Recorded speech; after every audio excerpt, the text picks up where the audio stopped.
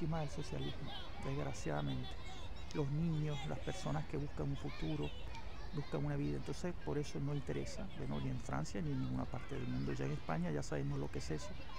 Y bueno, se sabe en Portugal y en Grecia. Esto solo dice Carlos Alberto Costa Suárez de París. Gracias por su.